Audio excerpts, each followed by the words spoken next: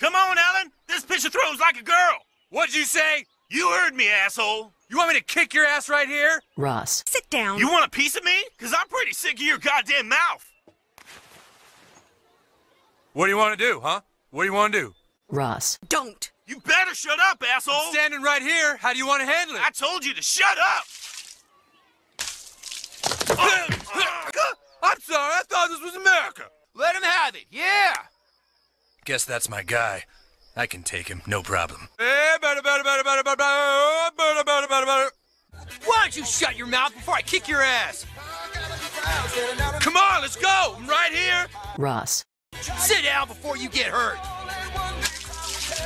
Motherfucker! I'm sorry. I thought this was America. Viva la Pueblo.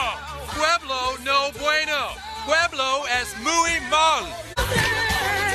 Is this a communist country or something?